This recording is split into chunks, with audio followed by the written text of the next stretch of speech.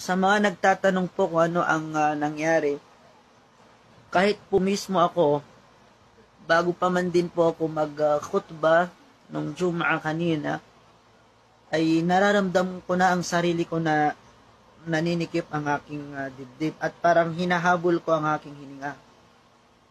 At alhamdulillah, pinagpatuloy ko pa rin ang aking khutba ng Jum'a.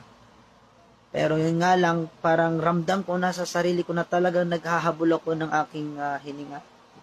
And after ng khutba natin, ay ah, nung magiim ang pilit kong humingi ng tubig pero walang available na tubig sapagkat naninikip na po talaga ang aking ah, dibdib, hirap sa paghinga. Pero nung ah, magsasala na po tayo, hindi na po kinaya ng ating ah, kalagayan, bigla na lamang pong hindi na po ako makahinga, ano, at ah, bigla na lamang po akong natumba. At pagising ko na lamang po ay nasa ospital na po ako, ano. So, saang ospital yun? Commonwealth General Medical Hospital. Medical Hospital. Pero mga kapatid, sa pananampalatang Islam, according dun sa ah, doktor na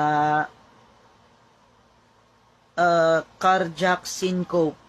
Ano? Ano yung ustad? Yung pinakuhan ko sa ustad na cardiac syncope?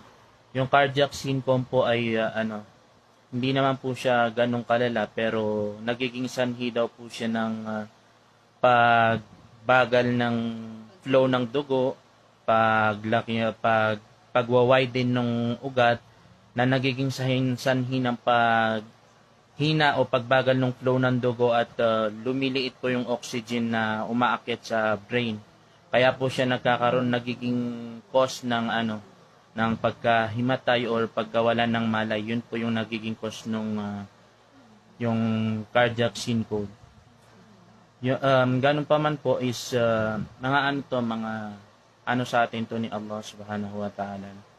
Mga babala, mga reminders niya sa atin to na kailangan pa rin sa kabila ng ating ah, pagsasagawa ng ah, ibada, pagpapalaganap ng Islam ay ah, kailangan pa rin tayong nagpapahinga ustad ano inaalagaan pa rin dapat natin yung mga sarili natin dahil yun yung hak sa atin ng sarili natin. Kasi katulad nga ng sabi ng doktor na pagod daw si Ustad at uh, wala pang tulog. Pare-parehas po kami kasi lahat tayo ay uh, hindi pa nakaka-recover sa mga nangyari this week.